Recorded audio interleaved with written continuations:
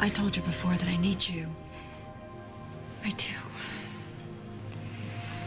See, sometimes I just, I, I think that success in business is gonna make everything better for me, you know.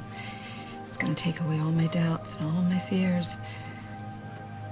But the truth is, is that it's all kind of meaningless without you. And I think that maybe your life is a little empty without me.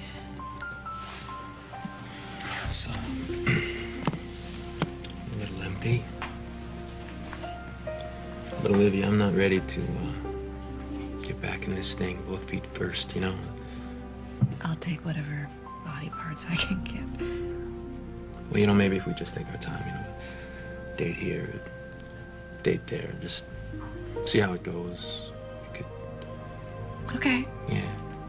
Although I, I think I know where it's gonna end up, the same place it did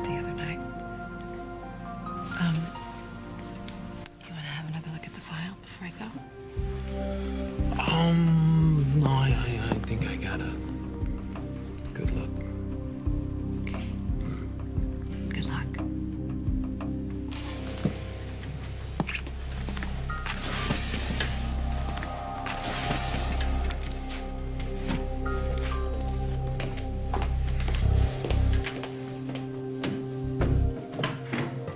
Well, I think you did an outstanding job on that other little problem we had.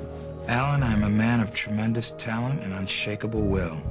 I did not come back from the dead to play it safe. I can handle whatever you throw at me. Well, listen carefully, and I'll tell you exactly